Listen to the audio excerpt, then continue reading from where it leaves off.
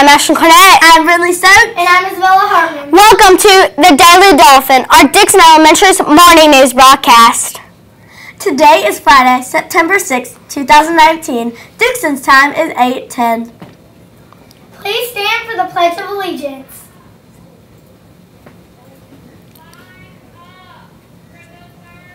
Stand. Salute. Pledge. I pledge allegiance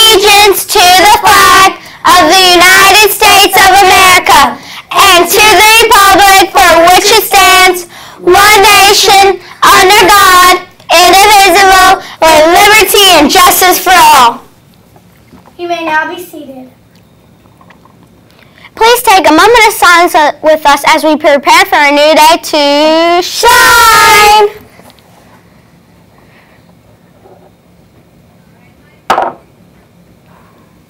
Let's say our school mission statement together. At Dixon Elementary, we inspire a community of lifelong learners and leaders.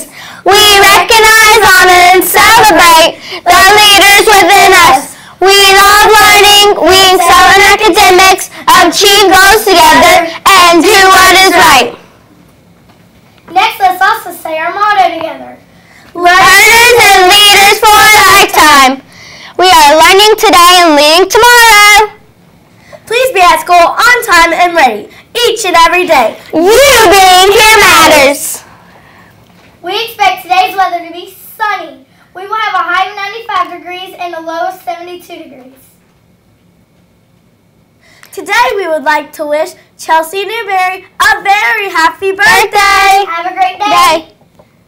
This weekend we would like to wish Alexis Collier, Cam- Camoria Moore, and Travis Franks a, A very happy birthday! Have a great day.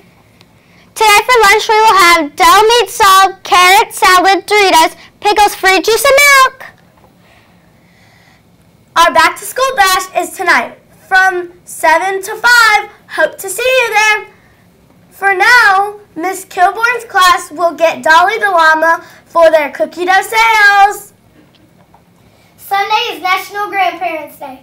Go outside this weekend and have a great time with your family.